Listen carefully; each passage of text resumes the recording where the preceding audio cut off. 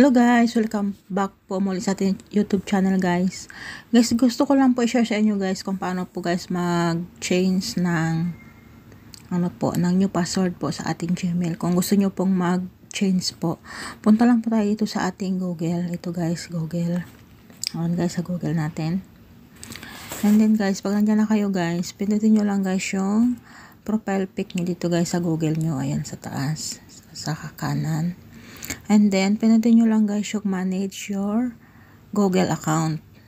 And guys, pag nandiyan na kayo guys, lalabas yan guys yung home, personal info, data, data and privacy. And then, dito kayo guys sa security pumunta. Pag nandiyan na kayo sa security, punta lang lang kayo dito guys sa uh, password. Yan guys. Mag-change ulit ako ng password guys. Pag napindot nyo yan guys, yan po yung lalabas. Ayan guys, i-enter nyo dyan guys yung dati nyong password. Yung dati nyong password guys. I-enter nyo lang dyan.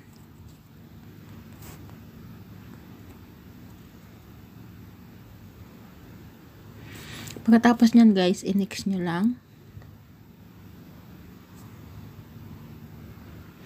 Pag nandyan na kayo guys, ito na guys yung lalabas. Maggagawa na kayo guys ng panibago nyong password, kung ano yung gusto nyong password. Mag-change na ako ng password ko.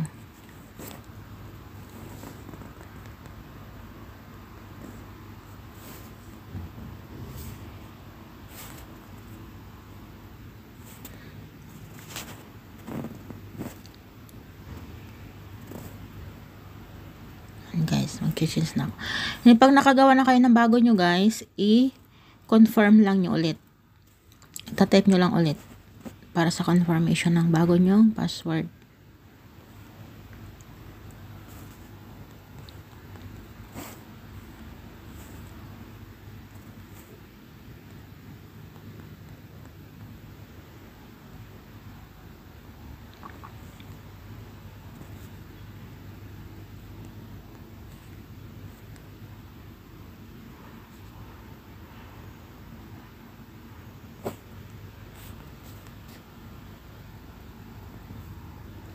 Ng doble. Wait lang guys. Ayan guys, pag na ano na nyo na, pag nyo yan guys, pindutin nyo lang yung change password guys. Yan, papalit na siya. Hindi yan agad yung lalabas. Tapos i-okay nyo lang guys. Okay.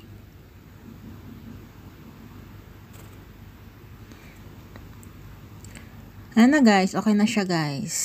Password change successfully. Okay na siya guys. Then, get started na. Okay na guys. Ayan na guys. Yun lang guys yung gusto ko i-share sa inyo. Kasi guys, pwede, ah, uh, kailangan natin i-update yung password natin. Kung gusto nyo magpalit, palitan nyo lang. Mag-update kayo guys. So, yun lang guys. Maraming maraming salamat po.